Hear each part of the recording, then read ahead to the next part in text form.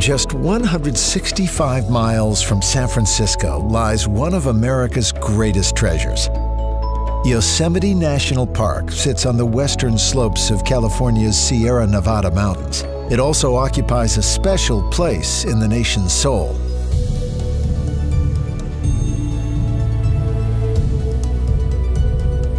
Yosemite's story began as the last ice age ended, when the glaciers of the region's high country scoured and sculptured the valley below. Managed by the National Park Service and covering almost 1,200 square miles, Yosemite takes in five vegetation zones, from oak and chaparral woodlands to sparse alpine high country. Of the 4 million visitors who come each year, most spend their time in Yosemite Valley, which is open year-round. At only 8 miles long and 1 mile wide, this valley packs in more jaw-dropping scenery than just about any other place on Earth.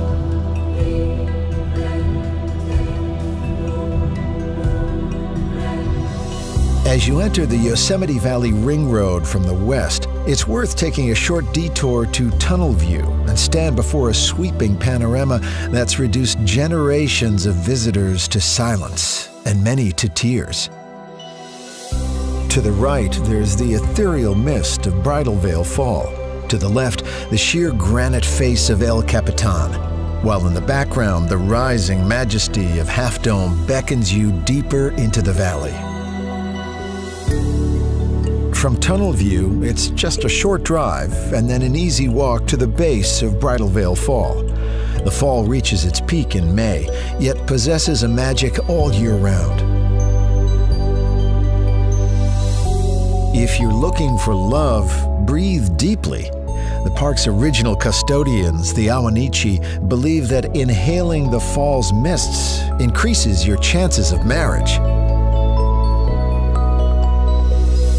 The park's ring road follows the banks of the Merced River, a national wild and scenic waterway which shifts in character as it thunders and tumbles from the valley walls before gently winding across the valley floor. Here, the river is lined with pine forests, rich meadows, and beaches. These are the places to pause and let the park's spirit wash over you.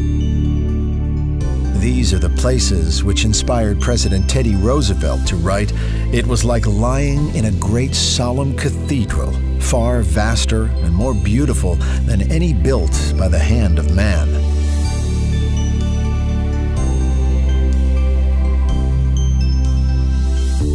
The Yosemite Valley Ring Road is dotted with trailheads that lead off into 800 miles of hiking trails.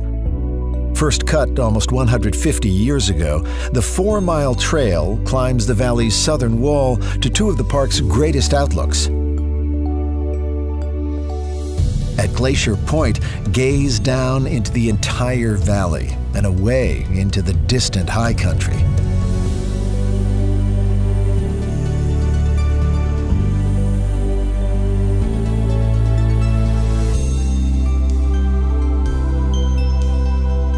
Little further along, whatever breath you have left will be taken away by the views at Washburn Point.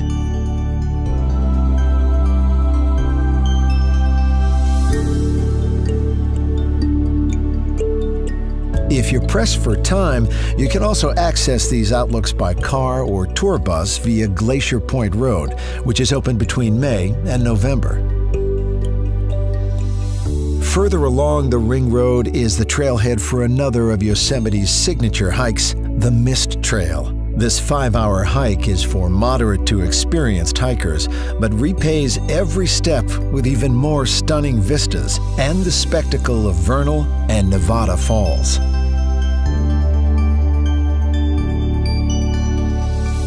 The Mist Trail links up with the John Muir Trail, named after the grandfather of America's national park system. In his 1912 book, The Yosemite, the naturalist wrote, Everybody needs beauty as well as bread, places to play in and pray in, where nature may heal and give strength to body and soul alike.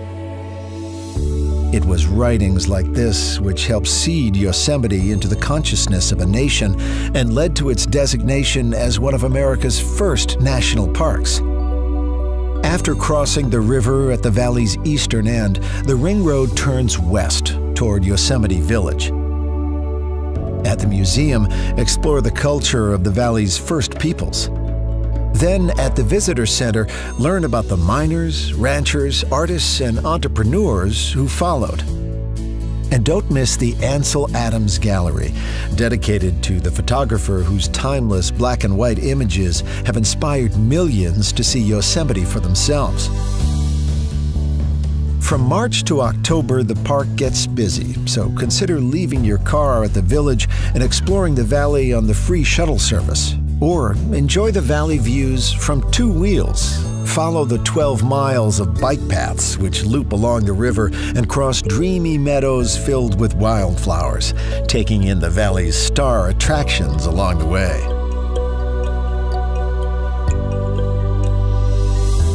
For thousands of years, the Ahwahneechee had villages throughout this fertile valley floor, but it was here at the base of Yosemite Falls where their great chief resided. The falls flow in three sections, which you can see in their entirety from vantage points all over the park.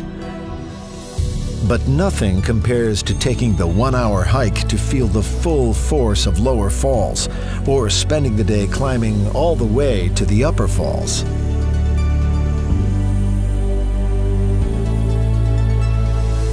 When it comes to climbing, El Capitan, a 3,000 foot high granite monolith, has become a rite of passage for climbers from all over the world. The first ascent in 1958 took 47 days.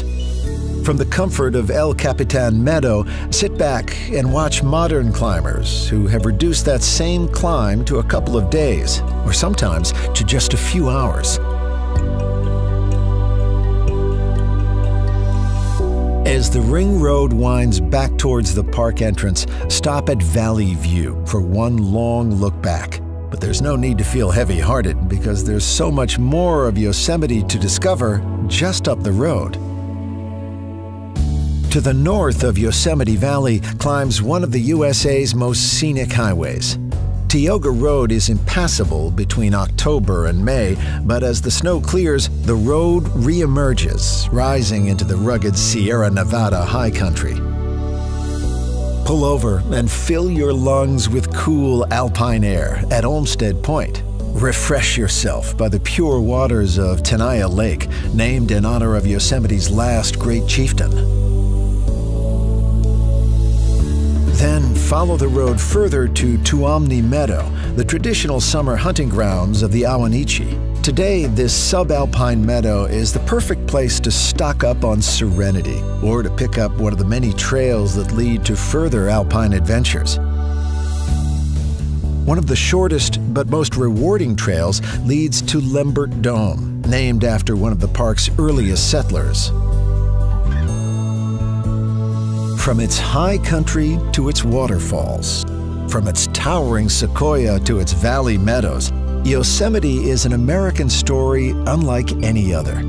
It is a place where a nation returns again and again through the best and worst of times to breathe, to be inspired, and just be. For this is a place, John Muir once wrote, that is far easier to feel than to explain. This is a place to wash the spirit clean.